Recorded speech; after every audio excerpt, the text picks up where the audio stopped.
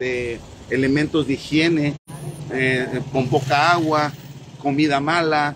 O sea, una situación que, que no parece de un lugar de, de retención momentáneo. En caso para- de ser cierto este, este tema de, de los migrantes, hay que hacer una investigación, ¿no? Definitivamente el Colegio de Abogados de México, de Inmigración de México, exigimos una seria investigación al gobierno federal, ¿verdad? Para que vea qué es exactamente lo que sucedió ahí dentro de la estación migratoria. Si, si, si lo que pasó fue un exceso de, de autoridad, que se castigue a los responsables. No podemos nosotros dejar pasar un hecho tan, tan delicado como este, que está documentado en, en razón a los mismos migrantes que, eh, eh, eh, porque ellos vieron lo que pasó ahí. Entonces, es una obligación del, del- del- del instituto eh, expresar, este, sacar una, un, un documento en donde aclaren qué fue exactamente lo que pasó para que la ciudadanía esté tranquila y los defensores de los derechos humanos sa- sabidos de que no están transgrediendo a ese nivel de llegar hasta la muerte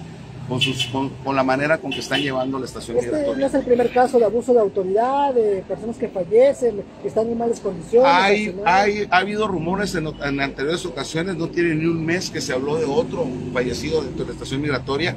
No, no se supo más, lo mencionaron algunos migrantes. No, otra vez, todo tiene un gran hermetismo. Si ustedes se pueden dar cuenta, tratar de entrevistar a una persona de inmigración es casi imposible. Entonces, eh, y ahí quedó. Ahora, eh, eh, todos los días sabemos de robos. Entra gente con el- en sus maletas con dinero y salen sin sus dólares. ¿Y qué pasa? Quedan en la calle sin dinero, sin, sin comer, sin tener para el hotel, sin tener para viajar. ¿Por qué? Porque les robaron de la maleta, les sacaron las cosas. ¿Y qué pasa? Ahí queda en la impunidad. Parece decir de estos robos y estas eh, series de víctimas no están documentadas jurídicamente. ¿no? No, no hay, este, no hay este, ni nada que, que pueda este, eh, darnos la verdad, la, verdad histórica de lo que está pasando. Ellos todo lo guardan en un, hermetismo. Ahorita se está poniendo más difícil porque ya hay gente en la calle, ya hay declaraciones por medio de, audios y videos. Tienen miedo, obviamente, no, no, no, no es una cosa así abierta, pero es una obligación del instituto aclarar qué es exactamente lo que pasó. ¿verdad? Y, que ya se haga una investigación más a fondo. La Comisión Nacional de los Derechos Humanos brilla por su ausencia. No llega para nada ahí. Nunca se les mira.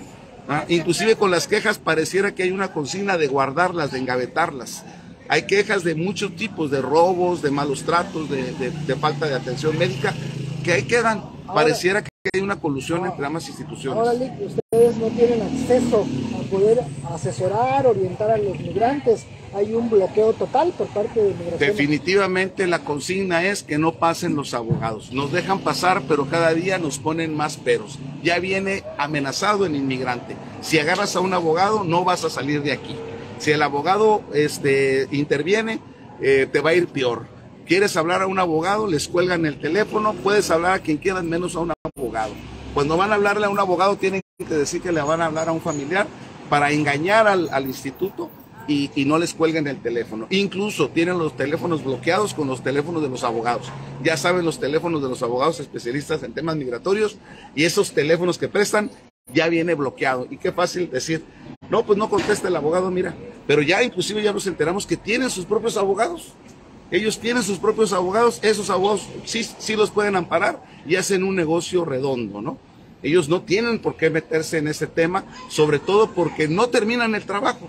Son abogados que nada más están esperando a engordarles el caldo, ganar dinero y ni siquiera los pueden Y sacar. eso ha provocado riñas, enfrentamientos, desorden. Cuando una persona se encuentra en un lugar donde es incierta su situación y, y- y y apunta más a una deportación, pues eh, la persona se vuelve loca. ¿Por qué? Porque tiene un gran temor en ser este, enjuiciado en su país. Los cubanos van a, van a acabar, son traidores a la patria, considerados en Cuba como traidores a la patria, les quitan la, ayuda del gobierno, les quitan el trabajo, los persiguen, los encarcelan y hasta los desaparecen. ¿Quién quiere llegar a eh, eh, repatriado a su, país?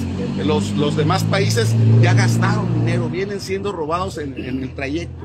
Y, llegar acá para acabar de cero, después de haber pedido la casa, después de haber huido de, de- de inclusive la muerte, inclusive cuando son deportados van a encontrar la muerte en su país.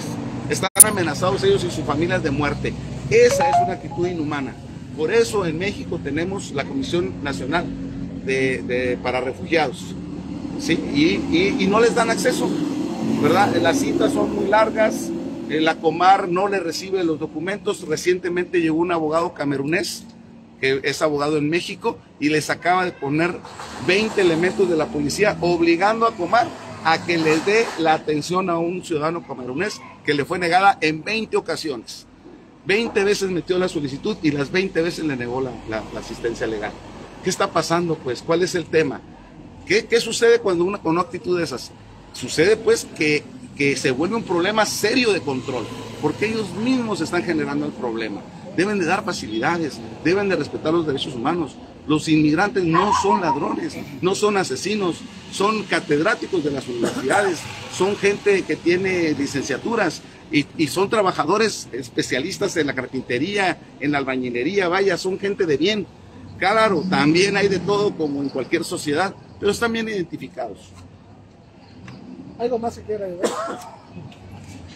Pues eh, que seguimos elevando a las autoridades una, una, una queja para que tomen cartas en el asunto y hagan una severa investigación al interior de la estación migratoria. ¿Qué decirle al, titular del Instituto Nacional de Migración, Francisco Garduño, que es el que pues, mantiene pues, el control en el país de migración? Eh, señor Francisco Garduño, los abogados de migraciones de México, le, le pedimos a usted de la manera más atenta que, que cuando venga eh, trate de llegar a fondo en las investigaciones que viene a hacer nos hemos dado cuenta que cuando usted ah, eh, eh, dice qué día viene, le barren y le trapean la casa.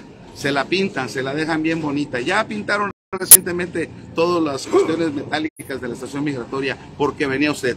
En cuanto se fue usted, se acabó la, la, atención. Lo están engañando. Acá hay un tema de discriminación y todo. No, de abuso de los derechos humanos. Ah, ahí te va un pedacito más de la discriminación si quieres. Bueno, la discriminación es total. Eh, ahora, en la, cuando les van a dar la forma migratoria múltiple, no se las están dando a los venezolanos, a los asiáticos de los Países Bajos y este, a los, a los este, nicaragüenses. Hay muchas nacionalidades que no se sabe por qué, pero no se las dan todos tienen derechos iguales, eso se llama discriminación y lo está haciendo el Instituto Nacional de Migración. ¿Cuál es su plan? Pues que lo diga, que diga cuál es su plan. Por lo pronto les está, echando, les está acabando la vida a estas personas que no traen dinero para estar aquí y no encuentran la salida. Se está volviendo una bomba de tiempo la ciudad de Tapachula, que como siempre lo he dicho, es la estación migratoria más grande de México, la ciudad de Tapachula. Muchas gracias.